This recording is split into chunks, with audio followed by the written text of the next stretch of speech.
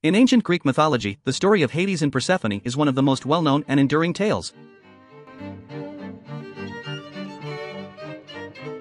Hades, the god of the underworld, is often depicted as a dark and formidable figure, and his abduction of Persephone is a pivotal moment in the mythology.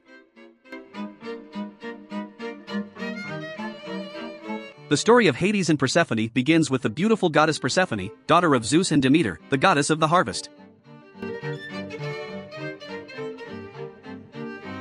In ancient Greek and Roman texts, it is clear that Hades kidnapped Persephone against her will and forcibly made her his wife. One of the most well-known accounts of the abduction of Persephone is found in the Homeric hymn to Demeter, an ancient Greek poem that tells the story of Demeter's search for her daughter. Another ancient source that describes the abduction of Persephone is the work of the Roman poet Ovid. The abduction of Persephone has been the subject of much debate and analysis among scholars of Greek mythology.